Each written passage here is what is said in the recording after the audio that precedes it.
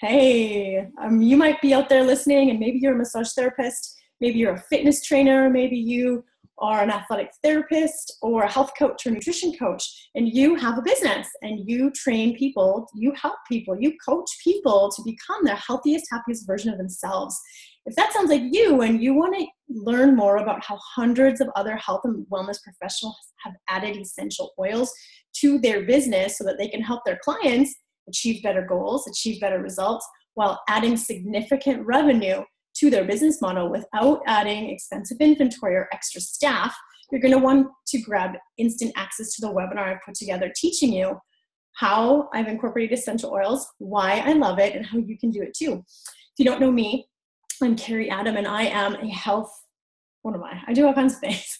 I'm a physiotherapist by trade. I'm a holistic living coach. I'm a run coach, and I've founded, I'm the founder of Running Moms, which is an online community where I train badass women to learn to run strong after babies and while raising babies.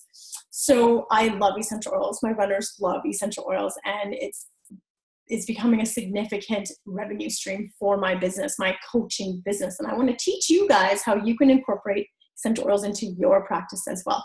So grab instant next to the webinar, and I'll see you on there.